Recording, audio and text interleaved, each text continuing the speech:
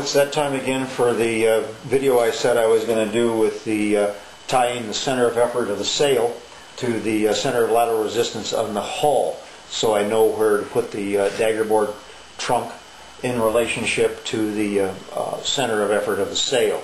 But first I had to find out where that center seat was going to be so that it would be easier to place uh, to balance out the hull and to place the dagger board in the seat area. And this one seems like it's going to come out a little bit better than my uh, O and P pod as far as the location. I'll be able to get the uh, dagger board trunk inside of the, uh, the seat itself.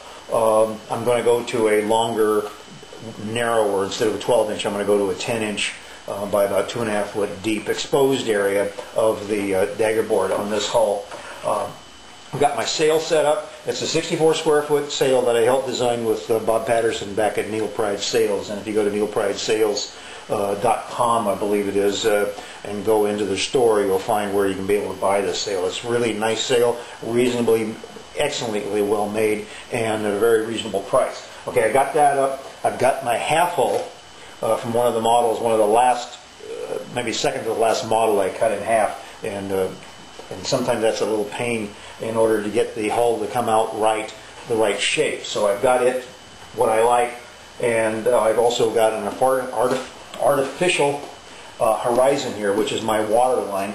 And we know from the, uh, the last video that when the boat is setting at rest without anybody in it, that the uh, aft water line was where the V touches the water, and the front water line of the hull was where the um, um, two panels up here come together. So I've got that set in. So now what I have to do is I need to make a piece for my um, um, what my exposed area cross section is going to be. This is kind of an old way to do it. I don't have the fancy computer programs because they that tell me, you know, some of the stuff online will give you a water line and all that kind of stuff, but it doesn't, and then it just spits out some uh, uh, stations and offsets and eights and that kind of stuff. And I don't like to build boats that way. I want you to be able to lay out the panels, cut them out, and after all my model work and my computer time, you have a fully formed hull without a lot of, with no forms to make. So, let me uh, stop for a second and get this installed so that everything doesn't fall off. Okay, I've got the part now that I'm going to uh, cut out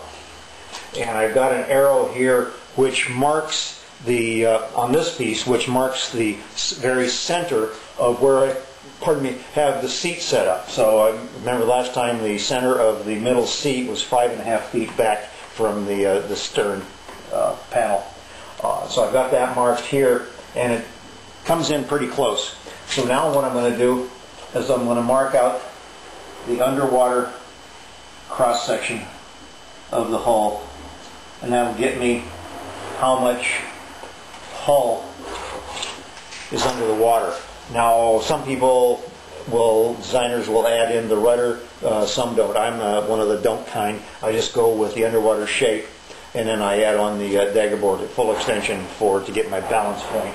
Uh, I find that uh, the rudder should be what it does, a rudder. It shouldn't be used as part of the lateral resistance. The hull and the placement of everything else should make the boat track in the water where it's supposed to be. The rudder just gives you like the steering wheel. The steering wheel does not affect the way your car goes down the road, other than which direction. So I don't use any of the rudder as an extra tire to keep me on the road. So let me um, stop and cut this out, and then I'll attach my preliminary place where I'm going to put the dagger board. Well, a little before I cut it out, let me show you. I've got the line here, which is basically the underbody of, of the hull that's going to be exposed in the water. Let me cut it out now. Okay, I've got my bottom panel cut out. I've added my dagger board to where I think, let me stick it up here. Yeah. I've added my dagger board to where I think it's going to be. Now these marks right here, uh, you might be able to see them, but that's where the seat is in relationship to where the stern, the uh, front and back edge of the seat. Uh, my seats will always have a taper in them uh, so the actual bottom would be wider than the 12 inch on top. Uh, I may have to make this middle seat uh, 14 inch seat uh, just to get some extra width in there for the way I build it. I'll find out when I actually build the boat whether or not, because uh, I'm still going to go with the 10 inch dagger board, but I'm going, I may need some extra width in the seat, an inch either side, maybe from a 12 to a 14 inch seat. Uh, in order to get the dagger board trunk to fit inside the perimeter, but we'll see that when we build the boat. So, okay, I've got my, I always like to have my, my dagger board within the seat. Sometimes it doesn't work out that way, and I'll have to build, like in the ONP pod, if you go to the uh, flickr.com slash red barn boats, or no, let's see, what is that? Flickr photos, ONP pod. Uh, you will find uh, I had to make a little projection out of the front in order to get the dagger board kicked out about six inches ahead of the center of the seat. So I've got this set up to where I want going to be, and uh, I've got it to where it'll fit up underneath in the hull. So now all I had to do, and I found a couple places that uh, were going to be, uh, I'll stick my pin in, uh, but this will, it's too late. Pardon me. Uh, It was too heavy in the, in the stern, so I brought it back originally, but then the dagger board kind of wants to sag down on me, so I dropped it down to this point, so she sets pretty flat and, oh, lost my sail, pretty flat. So then I'll go ahead and push that point on through, and then I'll mark it as this point is my center of lateral resistance on this hull with this underbody. Let me put my sail back in position again here. Okay. So now I know where that part is. And so I shall stick it back up in place. And let me readjust this hole.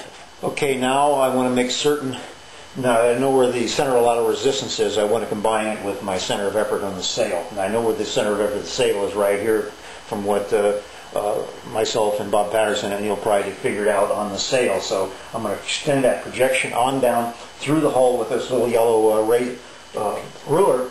And I can measure from my center lateral resistance pin, I'll come in closer on this, to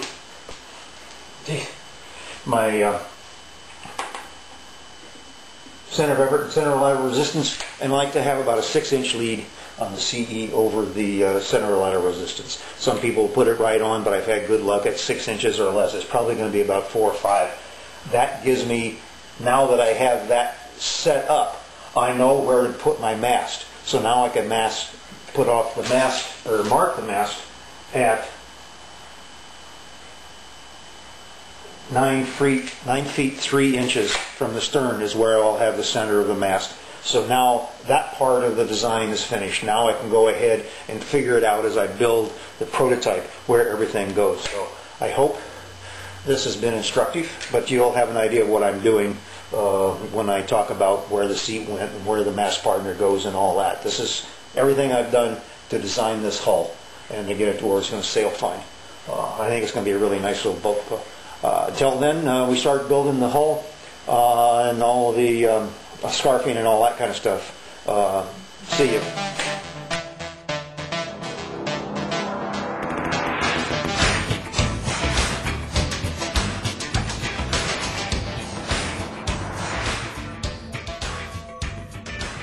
A scale model of the sail that I helped design with uh, Bob Patterson at Neil Pryde Sails. Let me get this stuff stuck in again. Normally I do this in my crookboard in my house, but it's too dark in there, so let me come back and set this up again.